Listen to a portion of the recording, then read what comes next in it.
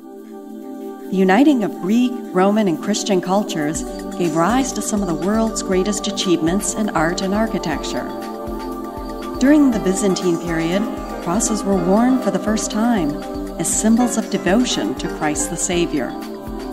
These astonishing 1500 year old bronze crosses are genuine artifacts of Byzantium and have been unearthed in archaeological digs and discovered in shipwrecked dives of the ancient Holy Land.